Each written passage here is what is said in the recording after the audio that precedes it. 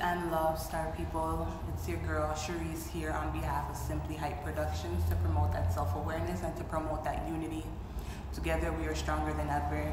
You know, I'm all here promoting the power of you. You have the power to do and be and have and create and manifest anything and everything you want in your life.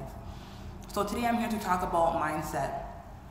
I'm here to talk about having a fixed mind because I know we've been told, or I've been told, or it's a casual thing to tell people that if you have a mindset, if you're born with a certain DNA, that's how your life is going to be, that's who you are, and you can't change.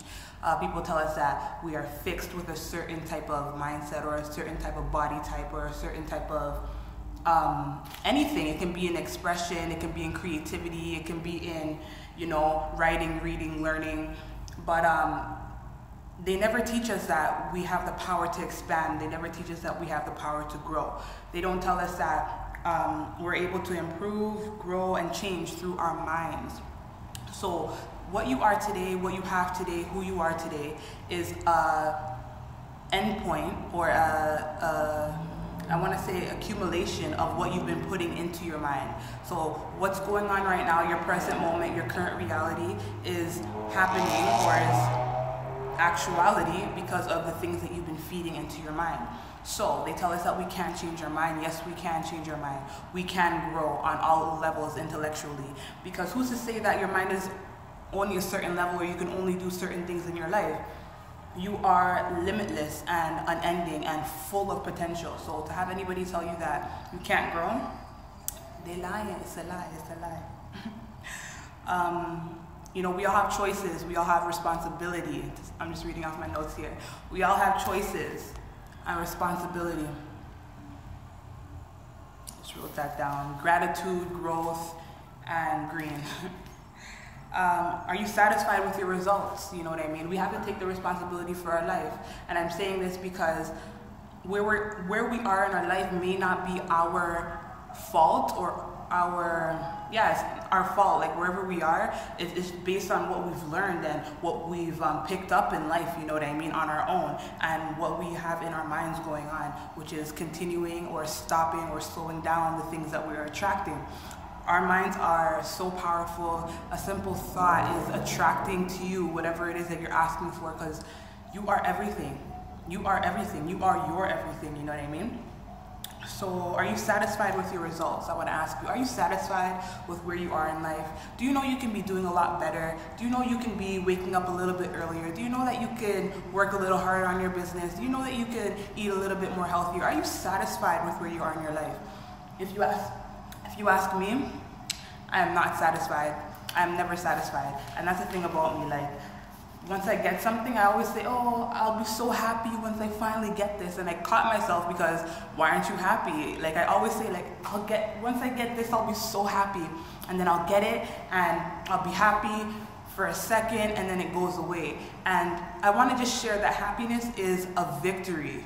Once you have happiness, that means that you already won. Once you have happiness, it's like you are full faith, you are happy because you know that your happiness is your victory. And being able to be happy is so liberating and it's the most rebellious thing that you can do is be happy for yourself.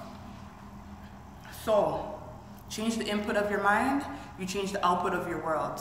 What you put into your mind is what you project outwards. If you're putting good, healthy, loving, prosperous, abundant thoughts into your mind, that's what is going to come out of you. So, um, I just wanted to share something that I heard from Zig Ziglar. He's the man. He's the man. He promotes um, the power of you, same way. You can do whatever you want to do in your life. Um, what we feed our minds determines our appetite. What we feed our minds determines our appetite. So when it comes to appetite, for me, it's like when you want something. If you have an appetite for something, it's because you want it, you know? Um, kind of like a desire for something. So if you're feeding into your mind negative thoughts of drama, negative thoughts of, you know, the things that you don't like, the things that you don't want in your life, the things, the places you don't want to go, the things that you don't want to do, and that's what you're constantly putting into your mind, that's kind of like your appetite. That's what you're looking for. That's what you attract. You know what I mean? So just be mindful of it. And um, somebody referred to what you feed your mind determines your appetite um, to NASCAR. And when I heard that, I was like, why would you compare the two? And then, I, and then the lady explained that NAS, when you're driving a car in NASCAR, you're driving at 180 kilometers per hour. And you have to be looking at where you want the car to go. Because if you look at the wall, you'll end up crashing. But if you look at where you want the car to go, the direction of where you want the car to go, that's where the car is going to be. So even for a split second, you lose your focus and you look somewhere else. Anything can happen in a split second. So feed your mind your future. Feed your mind what's coming up next. Feed your mind the victories that are, are coming. Feed, to mind, feed your mind with the establishments that you're about to receive. You understand? Don't feed your mind on the ways you failed in the past. Don't feel feel, feed your mind on the things of the past or anything negative that you don't want in your life. Don't focus on the things that you don't want in your life. Don't focus on the things that you can't do in your life. Focus on the things that you can do in your life. Focus on the things that you're going to achieve in your life rather than failures of the past. You know, you're holding yourself back and you're steering yourself in the wrong direction without the right focus. You need to have a focus and stay determined to your focus. Um, yeah. I think that's it. That's all I wanted to talk about. Um, oh, I wanted to talk about my personal story involving focus and how it relates to the NASCAR. Um, one time I was driving, I was an early driver. I'm not really a great driver, I'm not gonna lie. I'm gonna do some practicing, I'm gonna get some training up, but I'm not the best driver and I have some stories with me driving and I can share them with some of my friends and they laugh, like, what's wrong with this girl? But it's just like, sometimes you're just in the moment, you don't really know what you're doing. But I was driving someone's car and someone's in the passenger seat distracting me. So I'm looking at what they're doing in the passenger seat.